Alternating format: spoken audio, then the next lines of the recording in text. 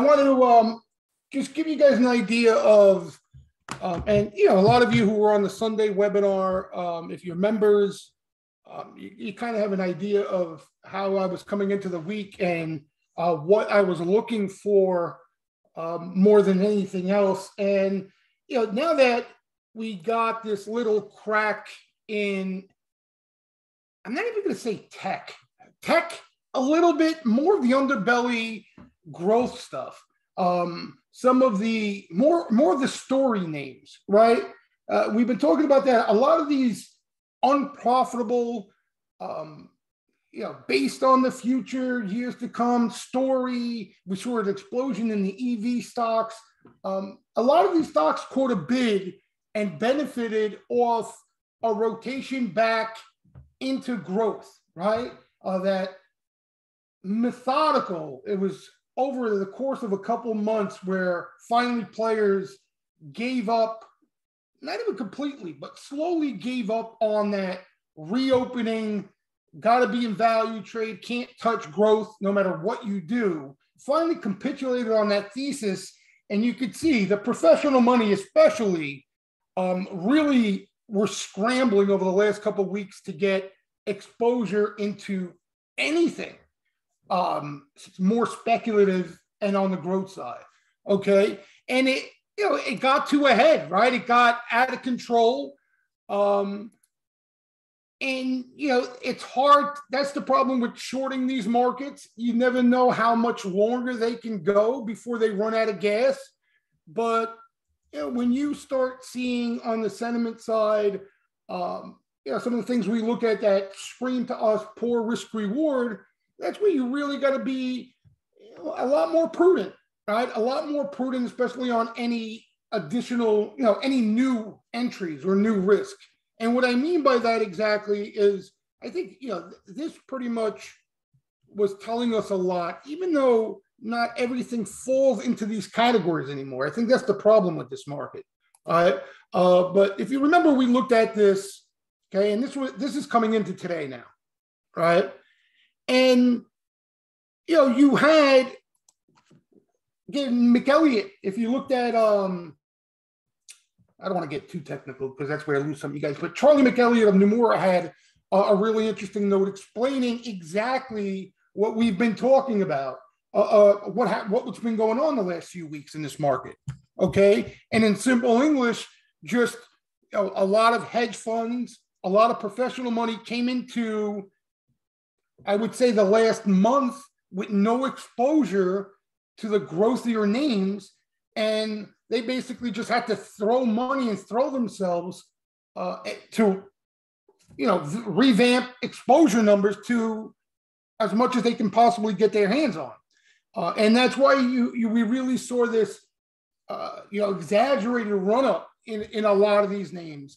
Uh, from the more speculative names, garbage names that really had no reason to rally um, alongside some of the quality stuff, right? That they had no exposure to. Uh, but if you look at this chart again, this was coming into today. So you're probably going to see some improvement uh, on this end here. Okay. And what I was referring to earlier, semis these days, it's really hard to put every single chip stock into one pile, right? You got NVIDIA, AMD, you got some of the growth um, semiconductors, chip plays, and then you have cyclicals, right? You have a lot of value cyclical type semiconductors, like um, you know, Micron is cyclical, um, Texas Instruments is cyclical. Uh, so I know we spoke about, you know, we spoke about this enough over the last few months. Uh, but for some of you newcomers, uh, you know, again, this is just a bland sector breakdown to get an idea where sentiment's at, right?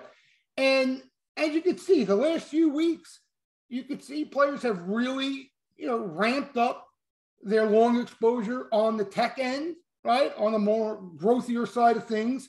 And at the same time, right, the stuff that they were really stubborn to get out of, right? They, they didn't want to they didn't want to sell these financial names. They didn't want to sell these energy names um, because they were all on the one side of the fence, the reopening side, right? The roaring 20 side.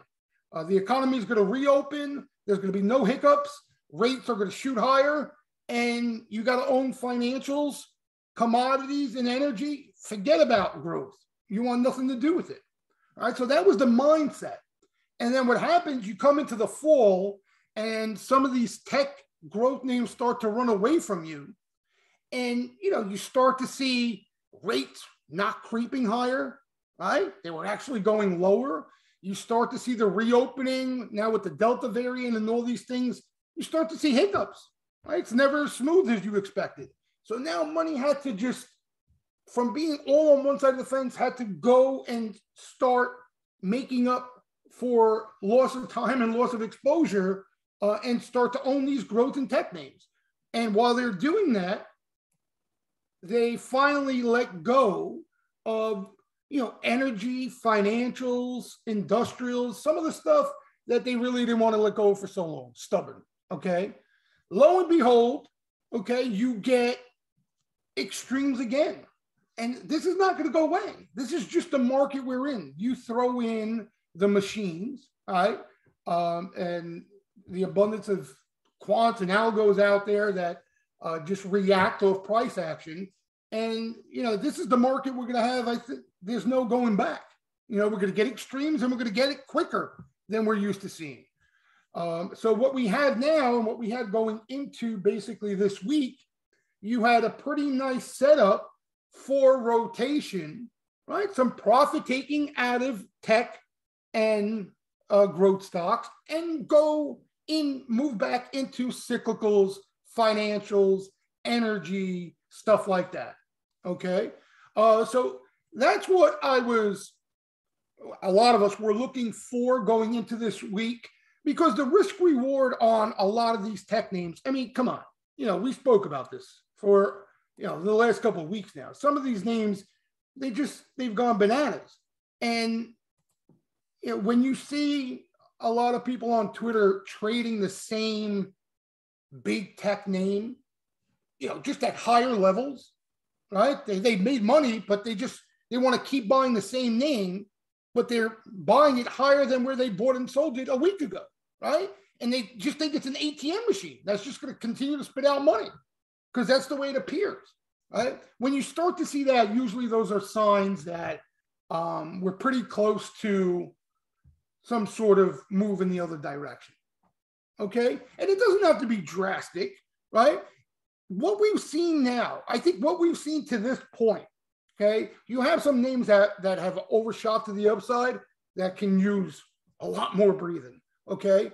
But some of the larger tech names, okay, some of the names that didn't really go too parabolic, uh, I think you got already a lot of good by these names getting punched in the jaw because a lot of the hot money, as we spoke about, all the chase money was in short term weeklies.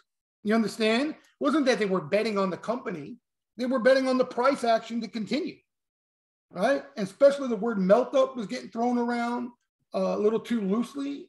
Right. Everybody talking about it because of how the markets reacted of late. Um, you know, people thought these things would never have a, a downtick ever again. And what we've seen now I think is at least enough. And you guys know me. Once these names go, I can't. It's like I'm lost in space. I can never really find that quality entry ever again once names explode to the upside. I'm just awful. I, I never get comfortable buying, you know, secondary entries at higher levels. Okay, we can talk about that another time, but I just I never get comfortable. Uh, but for those of you who like to trade these names, I think we're at a point where into weakness, if you see sweepers starting to get behind a name call side, you could start to trade these things on the tactical side again. Okay. And I know, you know, you're like, oh, on the tactical side again. Yeah, because for me, you know, the risk reward in a lot of these things wasn't even worth trading intraday for Christ's sake. Forget about tactically right? I mean, you had names that just um, went up in a straight line. Okay, TTD, yeah, the whole everything we looked at. So now you got um, at, at the least a healthy breather here in what you needed to see Okay. And I'll give you an example. Okay. Let's say, like, for example, um, like Apple today, right? Apple's a name, you know, you, you were looking to put or you like to trade, whatever the whatever it may be. And you start to see weakness in Apple from this point, right? You had the reversal yesterday. Today you had a little weakness. But for those of you around watching the flow, you could see, right? Buyers stepped in there. Okay. And now you can play this thing into weakness or sweeper activity and still now you got to trade out of it. Okay. Now you got to trade out of it. Um, and like I said, where it was prior to these last two days of selling, it, it wasn't even worth looking at, at that. Okay. On the flip side, you know, the, the money where the, the better risk reward has been, right, is in anything uh, more on the on the cyclical side. Anything that money has been coming out of. All right. So you have banks, you have energy, um, you have industrials, now, the problem with these names, they haven't, they just haven't caught the sweeper activity. They haven't been seeing the flow that the growth names have been seeing, right? And, it feels like it will never come. But if it shows up, this is what we want to be ready for, okay? Especially into into weakness. So I'll give you an example, right? You got J.P. Morgan been rallying the last couple days, Bank of America, the banks, right? You get some selling tomorrow, the next day, holiday selling, low liquidity, whatever it may be. Okay. And you see some buying coming into these banks, that, that's where you want to own them, right? Because they're being sold with, with all due likelihood, off of some profit taking in tech. And, you know, these things have been acting completely different. Okay. So in my opinion, now at least, and going to that whole melt up situation, you still have a lot of things in place for the potential melt up. The problem with the melt up is where will it take place? Right? That's that's the ultimate question. It's easy to throw the word melt up around, but you can very easily own the wrong things and the market can possibly melt up and you don't benefit one bit. So I think that's the tricky part here. Um, in you know what's going to carry the market higher? Uh, is it a little bit of both? And that's what a lot of us are hoping for. You know, yeah. Today, like you, it was pretty evident. You saw yesterday um, some decent action in the financials while they were selling tech throughout the day. Um, and then today, you know, it was predominantly energy and uh, banks uh, on on the coal side, floor wise, right? And then you had sweeper activity in FAS, right? Remember, they were all over TQQQ for weeks, right? So we may see that we may see that start to change, um, and we may see that higher rate theme start to outperform. Okay, what what I really think though, guys, and you know, I hate to make predictions because I like to see I like to see it happening in real time to confirm what I what I what I feel, if that makes any sense. Okay. But what I think this opens up, I think the little selling that we're seeing in tech, especially if we see any more over the short term, I think it opens up a little more participation where almost, we get a little participation across the board. So, in other words, you may not get speculative tech that performs well, but you know some of the healthier, profitable, you know blue chip type names they can also push higher certain times as the market pushes higher. Yeah, exactly. And you know why I, I think that? Okay, and I really don't think it's going to be one of those everything rallies where you can throw a dart at, at everything, even the more speculative stuff. Okay. But what we're seeing is we're starting to see signs of institutions stepping into this market. Okay. And when you think about it, like when institutions are taking positions, right, they want, they're building positions in the goods, the real companies out there, right? They're not looking down the scale at the more speculative stuff. You know, if they're going to play the anybody in the EV space, they're going they're going to look at a leader, right? They're not going to go down the scale and look for any two dollar stock uh, that they can't buy anyway. So I think with institutions starting to put some money to work back in equities again, where they haven't been, okay, I, I think we're going to see some of the the better names out there, the, the quality names uh, perform. That's all. And I, I'm not talking about just a flight to quality where they they crowd in certain names. I just think you're going to see from across the board, right? From industrials to energy to banks to even tech. I think you're going to start to see broader participation, but some of the, the more fundamentally sound names do well, if that makes any sense. You know, so that's that's my impression. Again, with this market, it can change in a week. Um, but I think what we've seen so far, if if you wanted to be bullish, what we've seen these past few days, you know, a little bit of weakness and some cracking in uh, Nasdaq stuff, I, I think is more of a good thing than a bad thing. You know, uh, hedge funds, their hedge funds did some buying last week. Like I'll give you an example. According to, let's go back there so we can look at some of that stuff. As a as a whole, hedge funds haven't been net buyers, uh, but supposedly, you know, some of the more crowded names is where they were forced to chase. All right. Uh, so let's see here what you got.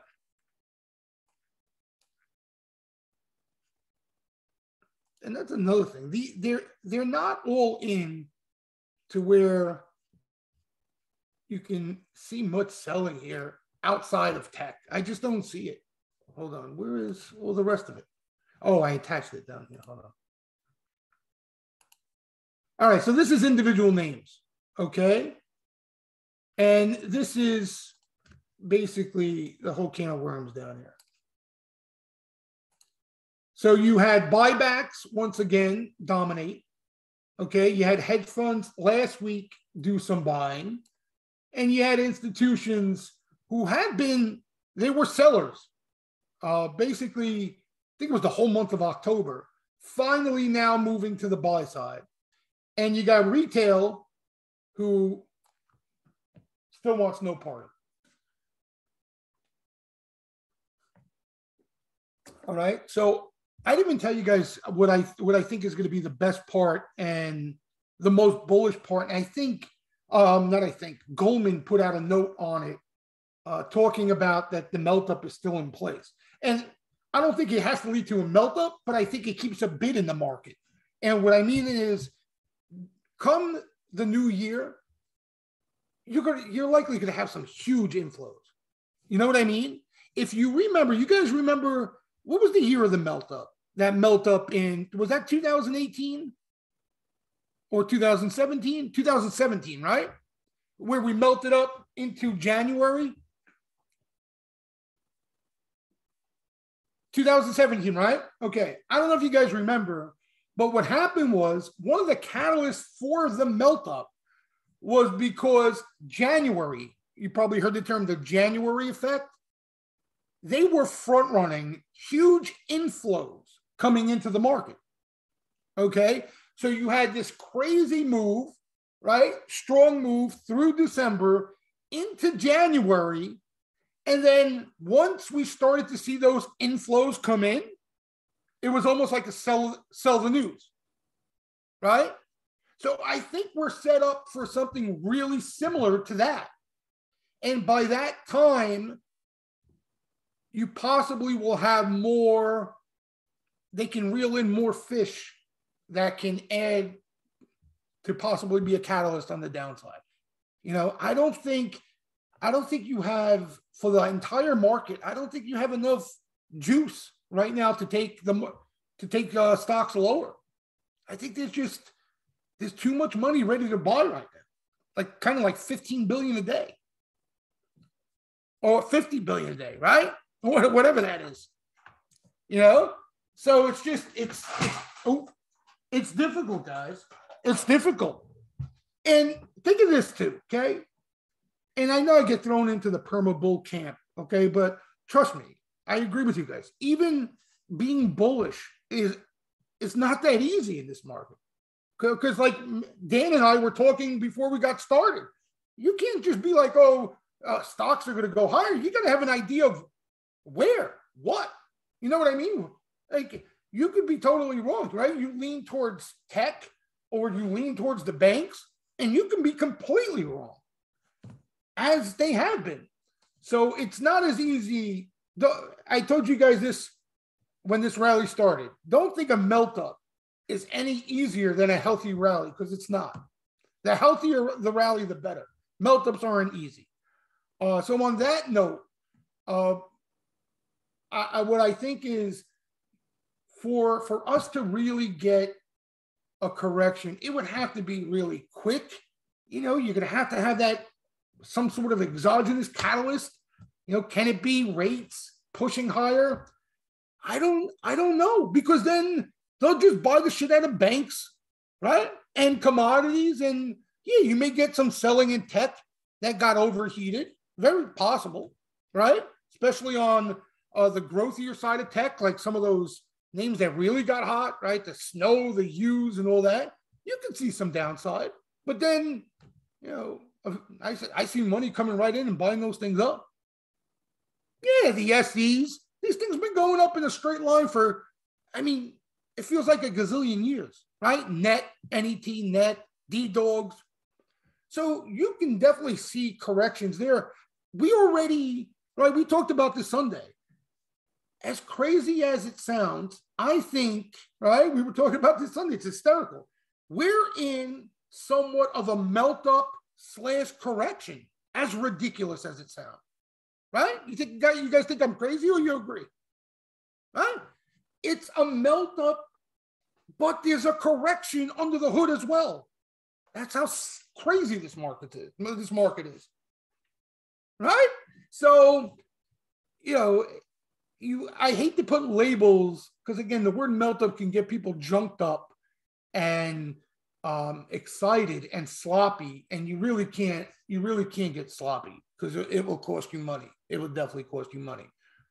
Um, yeah, maybe maybe if the fangs sold off, you would probably get a little more weakness than we're seeing. I don't know if it would take the whole market south. I really don't. I could be wrong, but I, I really don't. I just again, there's there's too much money that's not completely in this market that would look at it as an opportunity. You know, like what if they if they come if they really get hard, hit hard like a, a week stretch, you don't think money just will step in and buy the shit out of it?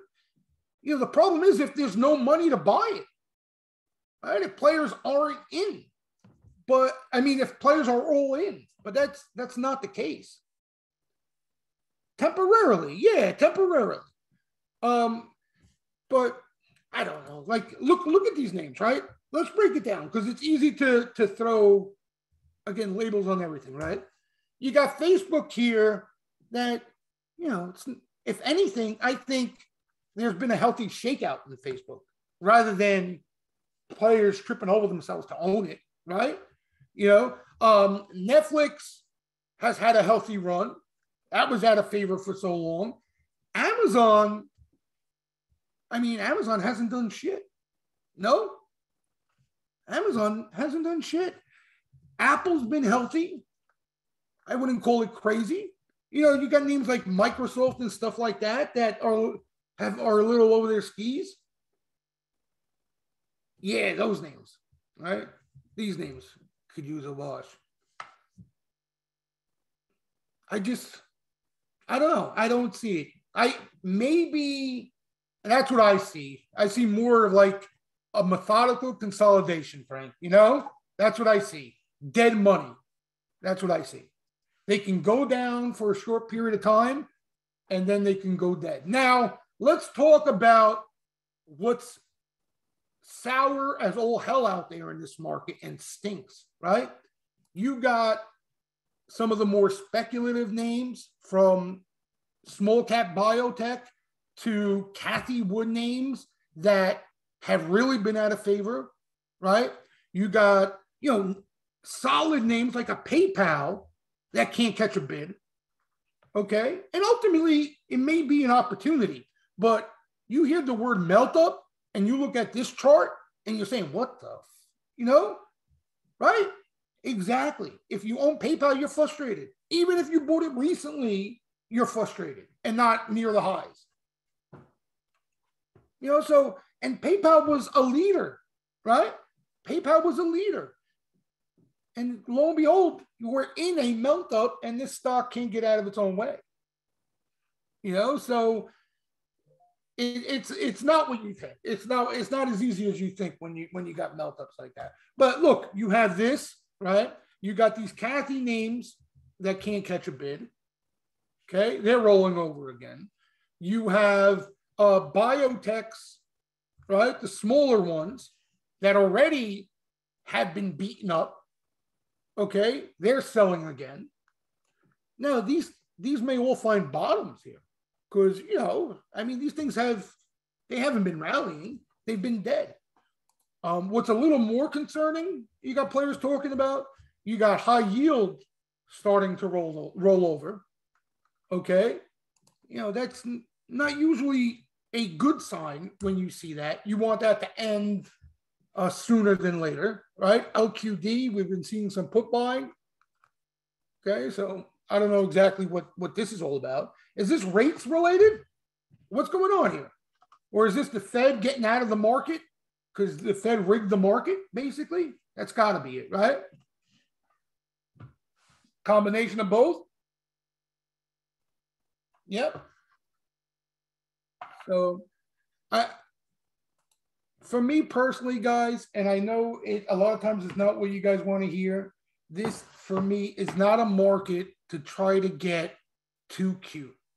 And what I mean by too cute, the more information you can get. So, in other words, like if you take this market right now on a day-to-day basis, you can you can have a feel and get a gauge of what's going on.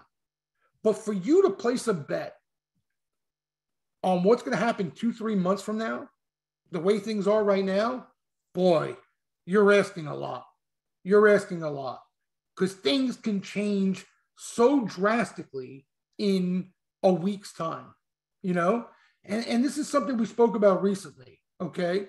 Like here, okay? You got a name like this, okay? That's catching some bottom fishing, okay? With time. And it's so easy for any of us, any of us to say, you know what, I'm going to buy it. Okay, it's catching a falling knife, and I have time, so I don't worry about it. But as soon as that shit turns sour, you start worrying about it, right? No matter how much time you got, you don't want to be underwater. But my point being is the risk in a name like this that we usually usually don't have because the whole market looks somewhat like this is that you're buying PayPal already beaten up. But you also have a big part of NASDAQ that's gone parabolic. Okay. If they start selling the hot names, right? The hot NASDAQ names, if the NASDAQ goes into some sort of little pullback and washout, what's going to happen to PayPal? Or what's going to happen to any other tech NASDAQ name? that's already been selling. Right. Now, they may outperform, right? They may not go down as much as some of the crazy names out there. That's a possibility. But, you know, you're it's really tricky. It's it's really tricky because a chart like this is misleading, right? You say to yourself, oh, it's already sold off. It's already oversold.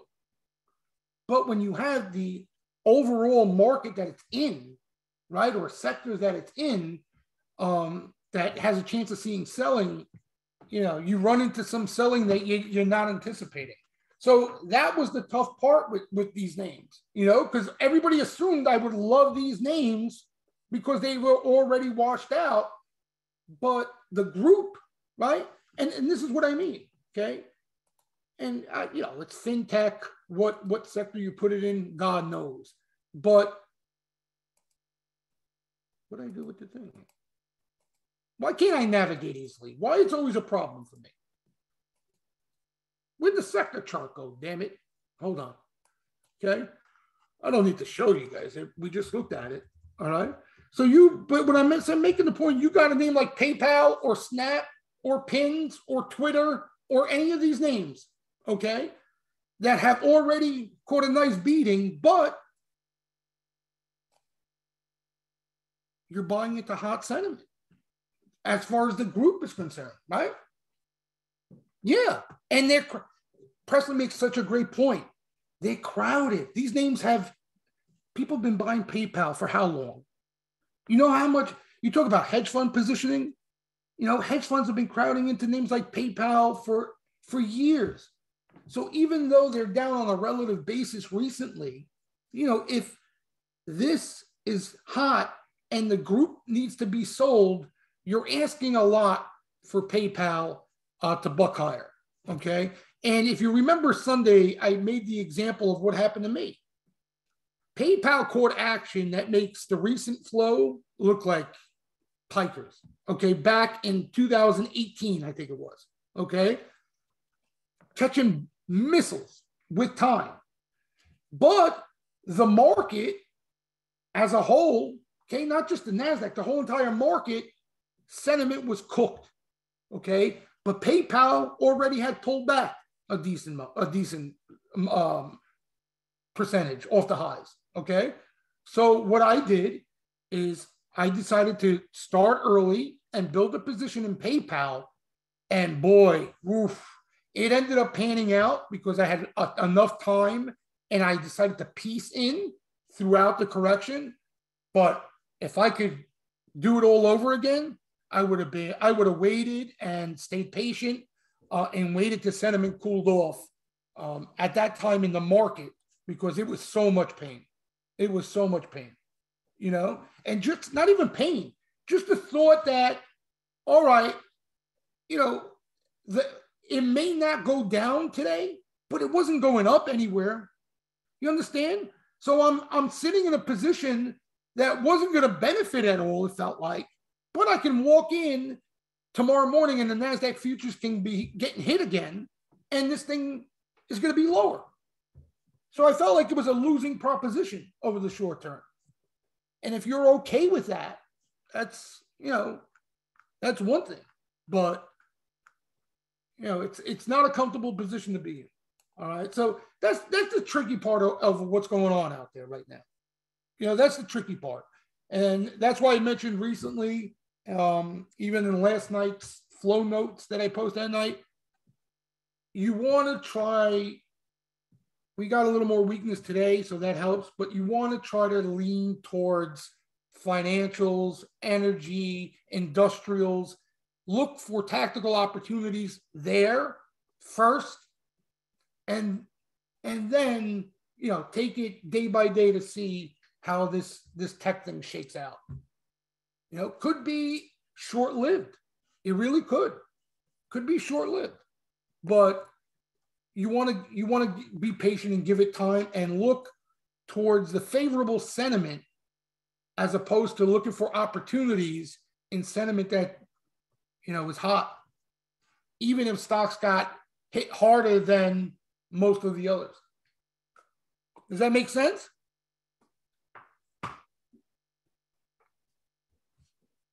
yeah industrials here, here's the thing right so you got industrials here Okay, and this is more like the XLI, right? But on a positioning basis, you got industrials that look a little more favorable. Again, because they're cyclical, you know? Um, oh, wait.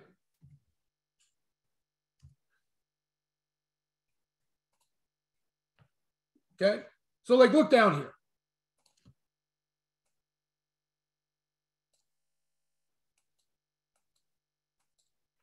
You know what I mean? So, and, and it doesn't mean it doesn't mean that they're going to catch flow. you know, because they're set up sentiment wise. Doesn't mean they're going to catch flow.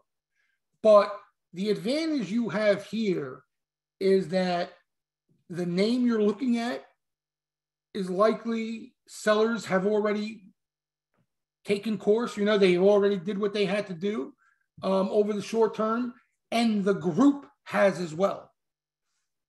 You know, yeah, you listen, there's no shortage of names out there that have decent setups. Okay. There, there's no shortage of it. We just, you want to make sure if you're not convinced, you know, and then you're trading off mostly sweeper activity like I am, um, you want to see buying, real buying come in. You know, you want to see real buying come in. You know what caught me by surprise? Like, look at this sector, right? This is the, I didn't even realize these things were getting beat up. Um, cybersecurity. Wasn't this the hottest thing since sliced bread?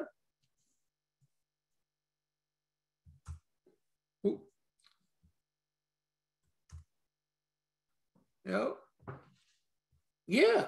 So, you know, look, like there's, you know, this is the point I was making earlier. You got some damage here in some of these things, you know?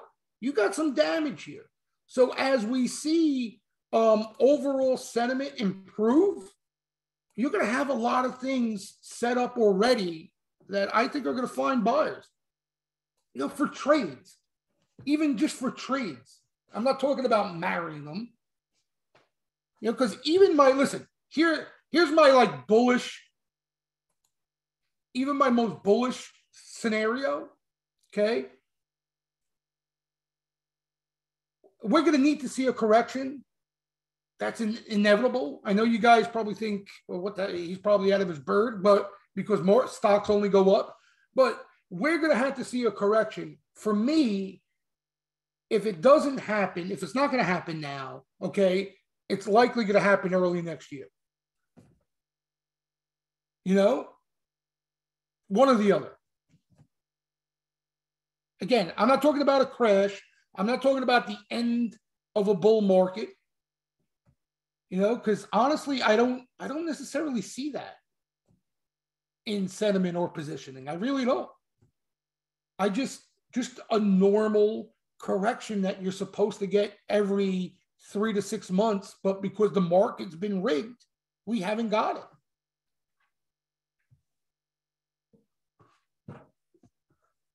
no okay so if we get if we get this melt up like Goldman's talking about, okay, which I, I can see that. I can see a complete melt up into early next year. I really could. A melt up would be a la 1999, Dan. Uh, in other words, front running the uh, January flows. So it would be from now till, let's call it, first couple of weeks of January. That type of thing. You know, but you, you, you know, some names will probably make your head spin. Yeah, and I, I think the like the indices is where you you really will feel it. You know what I mean? Just going up every day type of thing kind of like we, what we've been seeing in just a continuation, right? Like we were talking about um, a week ago, you know, that sort of thing. You know, and there's going to be there, there are going to be uh, names that we can make a, a lot of money in, without a doubt. The problem is trying to predict those names ahead of time. That's that's the tricky part. August 220. When was that? August? I can't remember the years anymore. August 2020 to September. Was that election before the election? Wait, 2020? Oh, Jesus, last year. Matt. My God. What year are we in? 2021?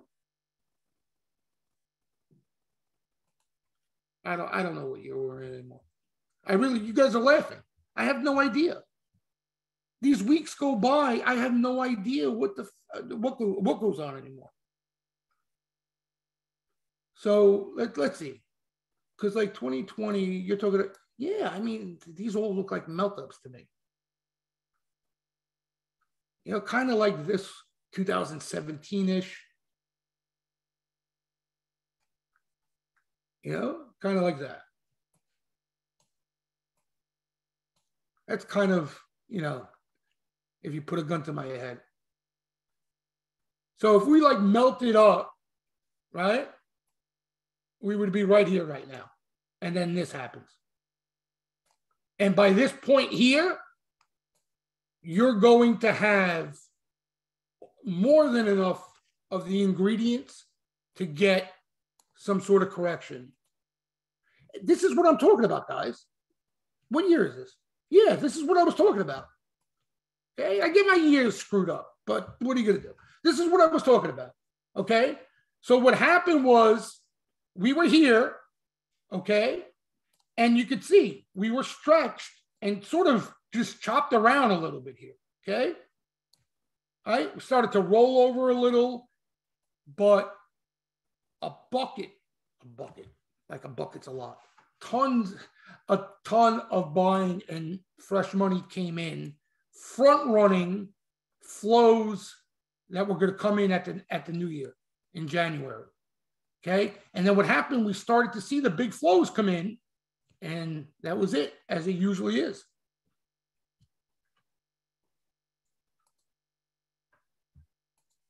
You know, so that's that's what I think the odds of seeing are higher than usual right now, if that makes any sense. Right?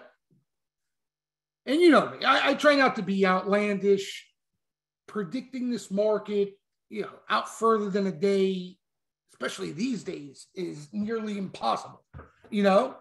But I just based off the stuff that I see, right?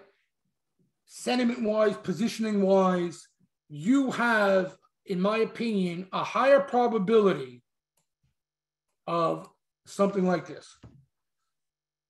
And I don't, you know, I, I think there are legitimate reasons for it. That's that's the scary part. Like I know you guys think I'm nuts. You got major brokerage firms out there calling for crashes, corrections, you name it. You know what I mean? Like, you don't have what you usually have when the music stops. In 2000, everybody and their mother, okay, was raising their target prices on everything across the board. Across the board okay? Because you look like an idiot if you were bearish. I don't think the Bears look like idiots yet because they're still doing it. Frank, you see the Goldman Sachs positioning? Like, you know, it's not, it's not there, Frank. You know what I mean? That's not exuberance. Zero. It's literally zero. Okay. I show you guys, right? Maybe that's a fluke. We look at the BofA positioning every week. We keep tabs on it every week, every single week. Right? Every week. Here's how they're positioned as a whole. You see this? Okay. Now, this goes back to I got deja vu. When we were talking at the time when it was time to buy tech. Okay. I don't know if you got if you guys remember that moment or whatever. Everybody, right? We sat, you had commodities up here, uh, financials up here, you had energy up here. Down here, you remember? You had tech, growth, okay? You had no bulls to be fed. Nobody positioned for a NASDAQ rally in tech and growth. Nothing. For good reason. Okay. They they looked like crap at the time. And you had people jamming down your earlobes, eardrums every day. Do not buy tech and growth. Bad, bad, bad. Rates are going up. No good. Don't be an idiot. Right. Inflation. right? Remember Goldman putting out those duration posts? We started looking at them for two weeks, then everybody and their mother had them. They were only buy stocks that met quote unquote the duration basket. Right? So nobody was positioned for something different happening. Okay. And now what you have is you have everybody aware of inflation. Okay. Again, I'm not saying not for good reason, right? For good reason. Okay. You got everyone positioned for inflation. Okay. You got everyone suspicious of the market. Okay. Even the bulls that claim they're bullish don't are scared to own anything. You know, so if something happens to go right, okay, if something happens to go right unexpectedly, you're going to get an extreme reaction to it. That that that's what happens. Okay. And it, the problem is it happens so quick you know what I mean? It happens so quick. Unfortunately, it doesn't last as long as we would like it. This rotation into NASDAQ and growth lasted long because even as it was happening, no one believed in it, right? We called them stubborn. They refused to buy any of the growth stocks, even though they were looking more constructive. Okay, I'm just giving you the example of that, right? Because I'm not saying it's a similar situation, but I, what I'm saying is I'm making the comparison that you do not have players positioned for a bullish environment, for risk on. Okay, you had speculators, right, rolling the dice in weeklies right? In EV stocks, in shit like that, in story stocks, okay? All in literally one or two weeks out. That's how far they went. All right, but that's peanuts. You know, money wise, that's peanuts. This wiped them out. You know, this wiped them out. So, you know, this, that's what I'm saying. We you could see a little um choppy yank, right?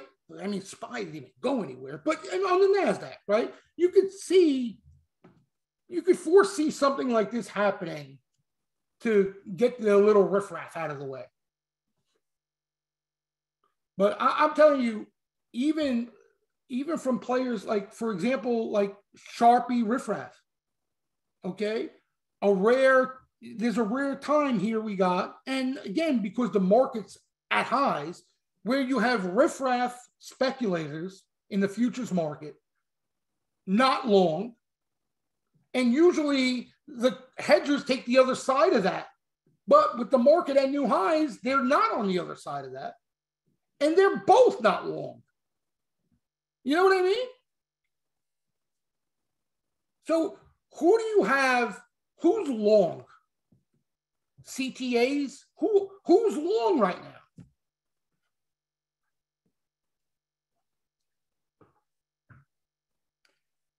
Yeah, yeah. And I do think like an everything rally would really hurt the most.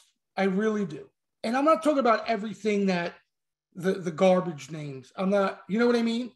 I think that's a good thing that's what, what's going on now that a lot of the unprofitable, no revenue names, stuff like that, um, is you know getting hit harder than some of the quality out there because it, it it shouldn't be like that. You know, that's usually at the end, if that. Tom Lee, well, and, and like for example, Tom Lee, right? He gets labeled perma-bull constantly. Okay he's, and I think he's smart. If I was in his position, I'd do exactly what he does. Why would I be bearish? Right? You get paid to be right. Why would you make bear calls if you're in Tom Lee's predicament. I'd go on CNBC and be more outlandish on the bull side than the time I was on the prior to that. No?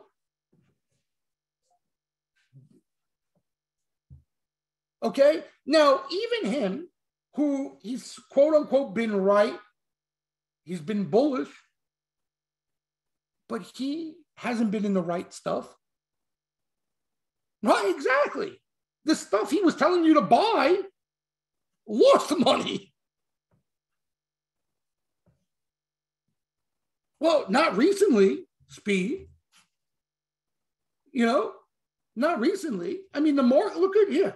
The market's been melting up and energy, forget it. You'd be talking to yourself if you owned energy. And everybody did.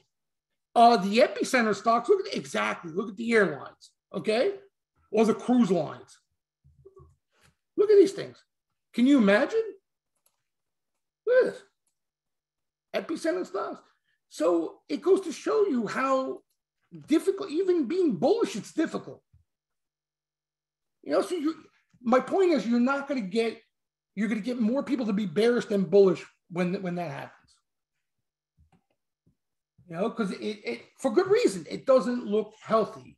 Okay, but if that turns right, and now you get this melt up that's a lot more broad and more participation, you know, you're gonna get you're gonna get money throwing itself at this market, throwing itself. Yeah, Ani, honestly, I've been that way for for quite a while now, only because I just can't, you know, nothing really stands out to me long enough to be any longer than tactical. You know what I mean? Go any further out than tactical.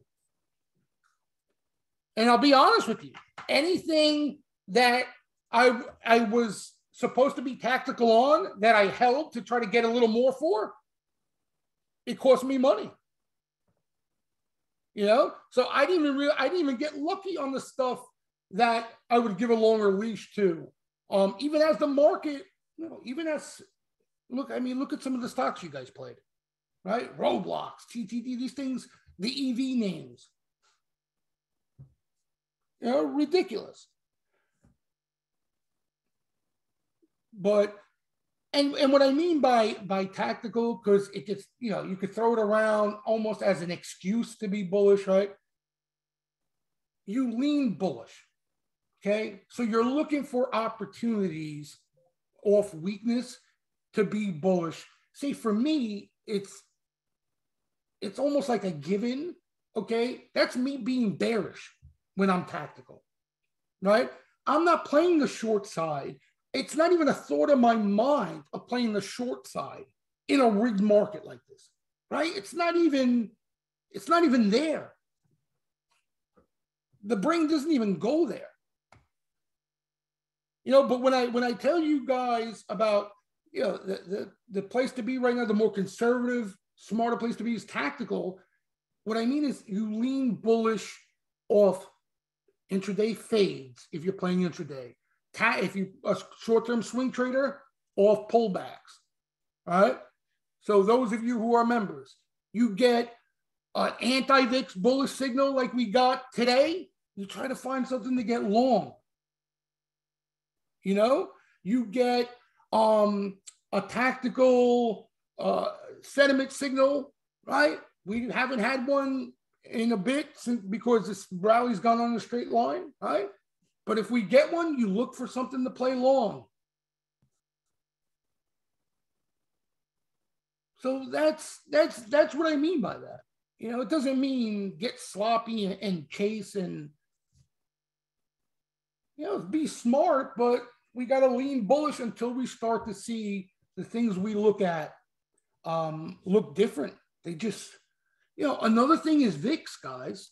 Okay, like you know the chart we just looked at the vix explosion that's what followed right? You had everybody short the vix okay? Everybody was short the vix prior to that here. Okay? They see this here? They were shorting the living urine out of the vix through this off every pop. They thought it was free money. Okay, that helps set up this. You know, you don't have that right now. You don't have that. You do not have that. So, from my experience, when you don't have that offside positioning, you get this. Right? Every pop gets bears riled up, they come right back down. Yeah, you get Sharpies usually accumulating VIX. They're not even bullish speed and they're not accumulating VIX. You know, so you just you don't have uh, the ingredients. What Frank was talking about was this.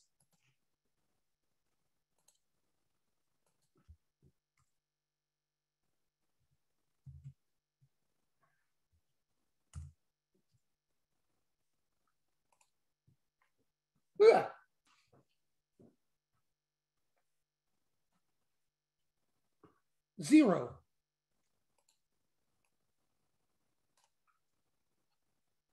You got the guy we've been following that Zero Hedge has been writing about Rubner, right? Who uh, uh, in charge of the flows over there, right? That, that's his job. Who's basically he's calling for a melt up because of the money that's coming, that's got to come into the market to buy, right? And you got clients at Goldman, they got Gats on Ghoul. Right? Again, as we spoke about, when you had that meme craze where I was already, the bunker was all set up for me back here, uh, here, right? Right? Yeah, fine. Okay. Well, that's concerning. You know, but you know, this here, not to say the market can't pull back, but where where are the sellers going to come from? You need, you know, you need you need that black swan. It's possible, but you need, you know, you need China to come after us. You need you need something and the odds of that, you know. But everybody who looks at those exogenous events and black swan events, they never look at the other side of it. You know, they never look at the positive that may play out. Like what happens, you know, God forbid, right? It's, it's a lock. What happens if inflation happens to be transitory? You know, what happens if we're in a low rate environment?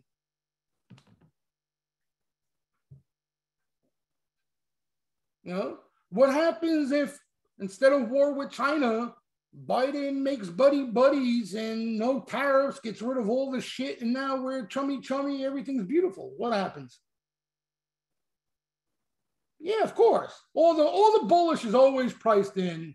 You know what I mean? According to them. No, we didn't do that. Remember, we was supposedly that was going to happen. Of course, when they're talking about it, it doesn't happen. All right. Now we got beef with China again, worse than Trump, supposedly.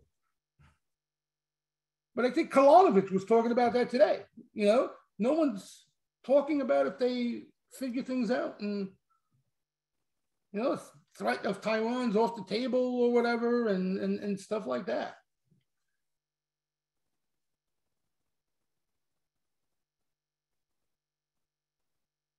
Yeah, exactly. They, they're not paying attention to. Uh, no, Sharpies aren't, they're hedged. But what's funny about that is the specs don't own uh, futures either. You know, nobody owns anything. That's that's I think the takeaway. Okay, it's not like even even hedge funds, right? Okay, because that's what we got to remind ourselves. It's not like everybody's short, right? Because everybody either thinks you're long or you're short. That's not what it is. Okay, it's not that everybody's short. Okay, it's just that, that everybody's not as long as they're making you think they are. Okay. Look at hedge funds. Okay. They're not short yet, but are they long? You know what I mean? Like, what happens if this market does what we were talking about? The odds have gone up a bit, right? What happens if this market does push higher, right? Front running those Jan flows, and you got broader participation. What what are they going to do? What do these guys do? You know what I mean? What what are they going to do? Are they going to decide to short it? That, that'd be beautiful, you know? But what, what are they going to do?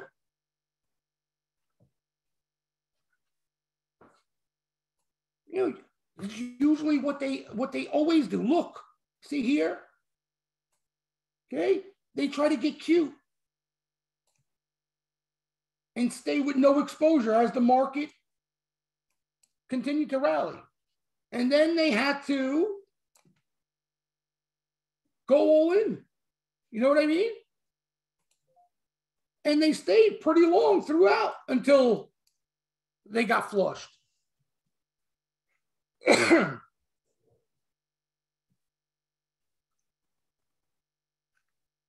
they might end up being that short. They might end up being that short, you know? Very possible. They're, they're that close to it. They're that close to it. So you know, like I said, this is not a bullish signal yet, right? Like when they're short, but you know, this when you have a market that does this, and you have these guys here as well as everything else we're seeing, like I said, it raises the odds and the probability of the market getting away from them. You know, and the way to play it, okay, is in my opinion, not to get too comfortable in anything. And that's what kind of like what Ani's saying, right? Okay. You see that financials and energy or the industrials are the place that's more favorable now, right? Because tech might be a little too hot. You know, that's where you're looking now. Okay. In literally a couple days, that can change. Okay, a couple days. Why do I say that? It happened right in front of our eyes in energy, right in front of our eyes. Okay, look. Oh.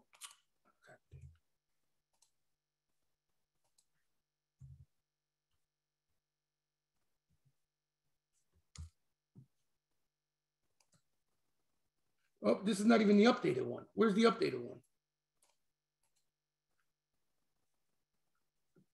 Oh, okay. Wasn't that long ago, right? Tom Lee loved it. Everybody and their mother loved it. Right? And then look, look how quick. Whoop. Two days ago, this is two days ago.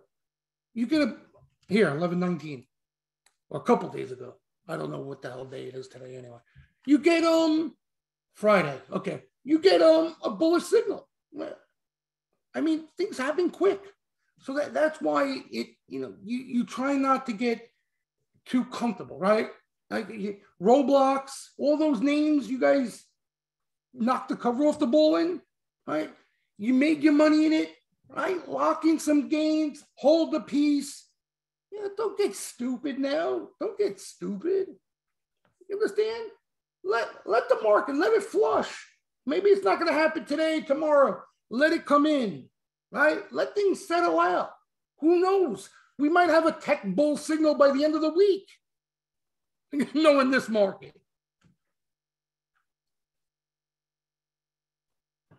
Yeah, I, I, don't even know what the news. I can't even keep up with the news anymore. You know, it felt like literally a couple days ago there was a shortage of oil. That's why it was flying higher. China didn't have enough oil. I, I can't keep up with it anymore. So fast, Dan. So fast. And it's not going to slow down, Dan. It's not going to slow down. That's why when, and I hate to leave you on this note to spook you guys, But when when it's over, you know what I mean? When it's literally bear time, it's it's not going to be fun. You know, it's going to be like you see all these gamma squeezes and all that shit. Wait on the downside. Like I, I don't even know if the, this market can handle it. I'm being honest with you. Right? We see all these meme stocks and all this shit, Tesla, all these gamma squeezes to the upside and all that. Wait till there, there, there, there aren't any buyers. Right? Wait till everybody is already in and all you have are sellers. And you have exactly you have that that gamma squeeze COVID. You see how quick COVID happened? That's what's going to happen. I mean, we saw it. You know, it just there was COVID, and you know what I mean? Took away kind of the velocity behind the selling because there was a real life thing going on. But you saw, I mean, you saw COVID, right? Like this is what's going to happen when you when you don't have the buyers. And this is what everybody is afraid of on the long side. You understand? Including myself. You know, all of us. Why wouldn't you be? But this is what people are afraid of. Because I'll tell you, usually, again, I'm going to go in my my rocking chair and my my grandpa stories. Okay, but back in the day, that's how I should start it off, right? Back in the day, you would you it was almost like you were looked like you were looked as an idiot if you tried to be preemptive, if you tried to front run anything. Okay? Because you were taught to react. Right? Don't sell ahead of time into strength. You understand? Wait see how the market looks, starts to show some signs, then you pull the plug. All right. Wait, don't buy into selling. Let the market test the bottom, blah, blah, blah, blah, blah, test the low, it'll come back. That shit doesn't happen anymore. You understand? It doesn't happen anymore. That playbook, you throw it into the toilet bowl. It's done. Kaput. With all this shit, with all these quants and machines and programs, it's over with. These tests and you know what I mean? Right, Dan? It's it's done. So th- this velocity is not going not going away, and that's why you know you you have to be aware. You got to think ahead. You know, you have to. You have no choice. You have no choice. But so, you know, I, I just wanted to make the point for everyone who thinks I'm just a perma bull and blah, blah, blah. You know, when the time comes, it, it's going to be a disaster. It always is. It always is. You know, it always is. Yeah, now more than ever. And, you know, I, will tell you, that's something I got to continuously work on, being quicker. It's so annoying. You know, it's so annoying. You guys know, those of you who play the game with me day in, day out, how many times we miss um, a, a bullish sentiment signal that we've been waiting for because it's so freaking fast. Right? You don't need me to tell you. this crude signal, like I we just had a sell signal, Matt. You know, I gotta I gotta look at these things every day. I can't miss a day. Yeah, it's all and and then everybody is aware of it. Everybody knows it's about speed, so they just look to get quicker and quicker and quicker. You know what I mean? Everyone's looking to get quicker. Everybody. But you know, glass half full guys, it also presents opportunity, you know, for us. We can't be as quick as the machines, so don't even try to be. But what we can do is look to take advantage of the extremes that the machines create. You know what I'm saying? Yep. Exactly, Presley. Exactly. Exactly. 100%. I couldn't say it any better. I could not say it any better. All right. So to wrap it up and try not to confuse everybody, okay, I wish there was something out there like, you know what I mean? We can stick to a thesis, look for a certain, you know, batch of names to catch action. I, I really don't know how, you know, even if this ends up being a melt up, okay, how what it's going to look like. Okay, it could be right like we're seeing now. Could be the financials and um, energy stuff that's more favorable sentiment wise lead, but I wouldn't be surprised if before you know it, tech another day of selling. I mean, it looked like we bottomed today on some of these things, right? Especially the stuff that's been destroyed. Yeah, there's there's there's a lot, a lot. I know it's hard to believe, but there's money on the sidelines. And the other thing is to, like I said, institutions that have been sellers, they usually are in the month of October. That's why um, seasonally October is rough. Okay, but in seasonally they flip to the buy side institutions into the end of the year. You know, so you got in, now you got the real big boys that may be looking to put money to work. You know, so well, we, day by day, right? We look at the better, the the best risk reward that's out there right at that point, and we try to take advantage of it. We don't, you know what I mean? Don't look to strike it rich, you know, all that stuff. You get lucky, it helps, right? Like I like I say, because again, it was a name you guys played the whole Roblox situation, a lot of these names, you know, it was hard to see moves like this coming. You needed to get a little lucky. But, you know, they come when you don't expect them a lot of times.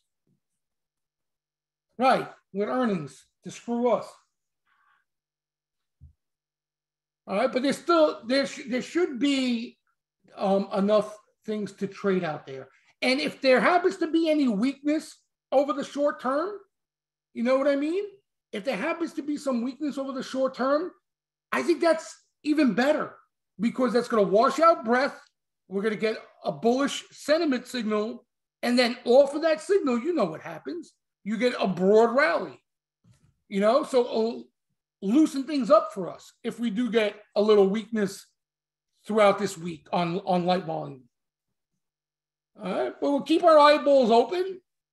And, you know, the signals change quick but we stay on top of them. That's all. All right, everybody. Everybody, enjoy your Thanksgiving week. Watch some football, eat some turkey. All right. Happy and healthy, you and your families. And uh, I'll talk to you guys when we get back. I'll see the majority of you anyhow in the next couple of days. But for the rest of you, have a happy holiday. Have a good night, guys.